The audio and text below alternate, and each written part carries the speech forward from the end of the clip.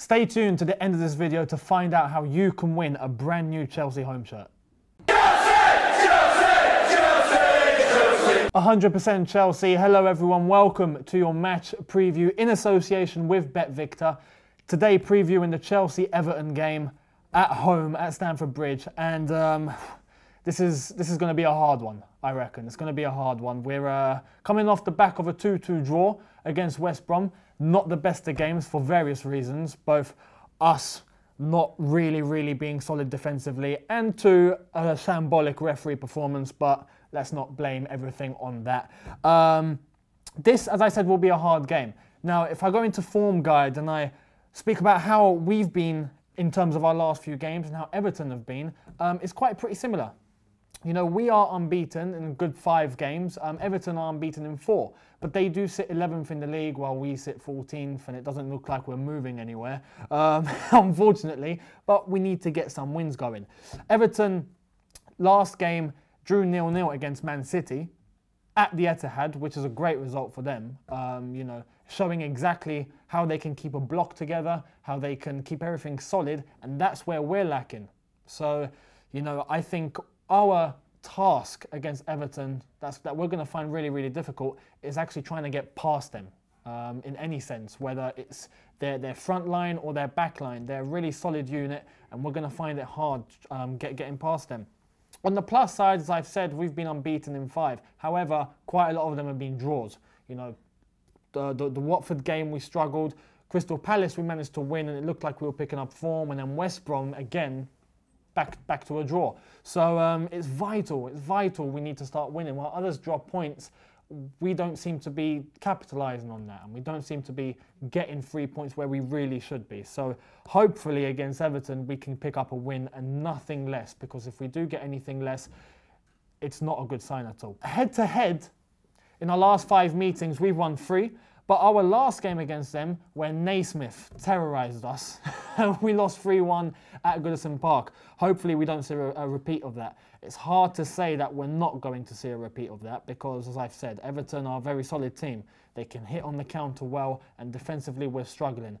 Players to look out for as well. They've got Lukaku, who we know really, really well, and he's been doing all sorts for them. And he's probably their star man. The man to watch out for is Lukaku. And defensively, we can't keep up with um, with holding up on, on big big names like Lukaku or big strikers who, who threaten us. We don't seem to be doing a good job. So it'd be hard to say that Lukaku won't score. Other men to look out for in the Everton team, Leon Osman, Gareth Barry in midfield, and the man we've been trying to sign since day one, John Stones. Um, he's going to be a key player for them in holding up Diego Costa, if he does play, it seems like he does. He punched the wall in the Chelsea tunnel, just to let you guys know, showing emotion, which is a good thing. Hopefully, he brings that emotion against Everton and he can really, really show John Stones uh, a thing or two. Because um, if Diego Costa's not on his game, John Stones won't have such a hard time. So, um, you know, there are players to watch out for. Everton are a good side, and hopefully, we pick up a win. If I'm going to go with a match prediction, um, as I said, we have to be at the top of our game. This is Everton, the same in all due respect. Watford have been good. Bournemouth caused us trouble. West Brom caused us trouble. These are these are the minor teams in the league. Everton are that mid-table team who can cause an upset. And um, I'd love to say my heart is going with a 2-0 win.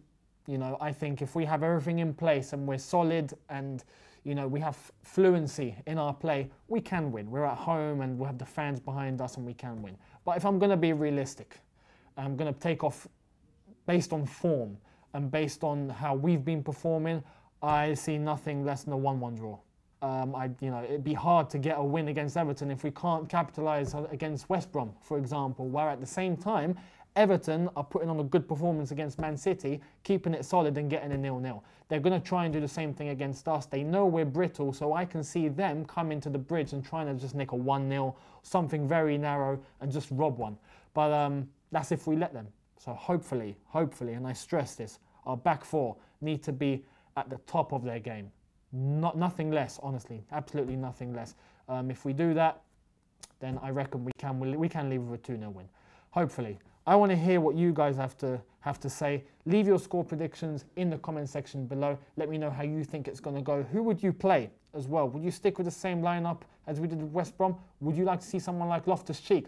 Personally, I'd play Loftus Cheek. I would definitely play him. I'd bring in some youth and just let the players who want to prove themselves and want to show what they can do, let them play. We've got nothing to lose. We're 14th in the league. What else can we lose? Um, honestly, get, get, get those players that want to prove themselves, give them a chance, and I'm sure we'll see some changes.